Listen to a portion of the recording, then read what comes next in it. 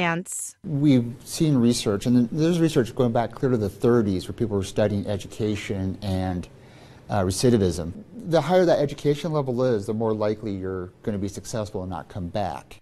Education breaking the cycle of failure that often leads individuals into the prison system. Uh, there is a statistic with the uh, California Department of Corrections that indicates that 70% of them have had financial issues if not financial crime. ISCI offering financial literacy courses as a cornerstone of the program, with classes aimed at equipping inmates with the skills to navigate the complexities of personal finance. We tell them as you practice in here, so shall you play on the outside. These classes aren't just about numbers, they're about rebuilding lives. And 27 year old inmate Nikkei is taking advantage of that opportunity. They have classes like to plan your finances and plan for retirement and things that you don't really think about while you're in here. It's just not a just not a day-to-day task that you really think about.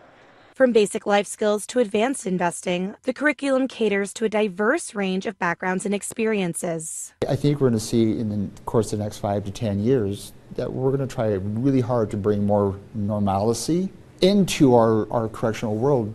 The goal? To foster success both inside and outside these walls. Get started now and take advantage of that time so that you'll have more funds at the end of the road. The classrooms reminded me a lot of a high school where inmates who were students in these halls were having open dialogue with each other and their teachers. Reporting from the Idaho State Correctional Institution, I'm your South Boise neighborhood reporter, Riley Shoemaker, for Idaho News 6.